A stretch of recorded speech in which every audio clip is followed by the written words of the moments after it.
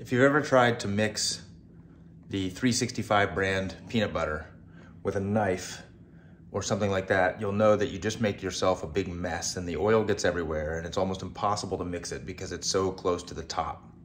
So I'm gonna show you how I solve that problem using power tools. Okay, here's everything you're gonna need.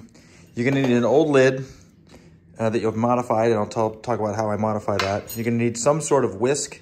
I've actually found these, um, don't know if that's a dough hook. I found these work quite well, but you can use a regular whisk, not whisk, um, beater that you would use in a standard hand, uh, hand mixer. Um, uh, some sort of drill. I've got a cordless one here, but it doesn't need to be cordless. Um, and of course your peanut butter. Now, uh, I've experimented with many different ways of making this hole. And every time I try to drill, which I've done several times, I crack the plastic and I got quite good sharp drill bits, but it's just such cheap, thin plastic that it's very hard to do that. So I've actually found that melting it with a match or a candle works really well and it creates this kind of thick, hard um, uh, reinforcement of the plastic.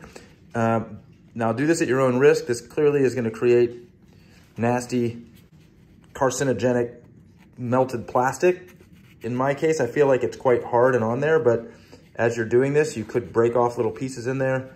Um, so just do that at your own risk, okay?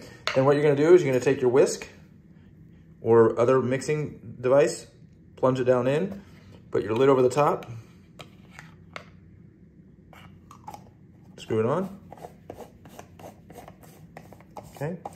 Now, next you're gonna tighten down the chuck of your drill down onto this, like so. Now here's the last bit. I'm gonna do this from this angle because it's, and you, uh,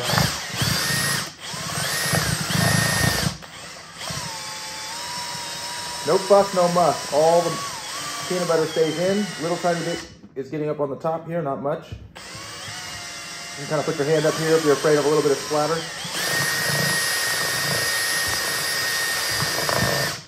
You get all the way down to the bottom, get all that nice peanut butter up.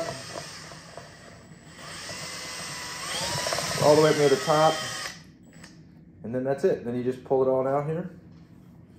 It's really handy to have a little bit of mess here at the end. There you go, a little bit of peanut butter on there. Very handy to have a dog nearby to help you take care of the mess. Right, Waffles?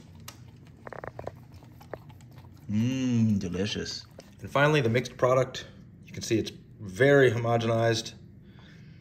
Oh, when I first opened this, it was very dense, unmixed peanut butter surrounded by oil. It was a real disgusting mess.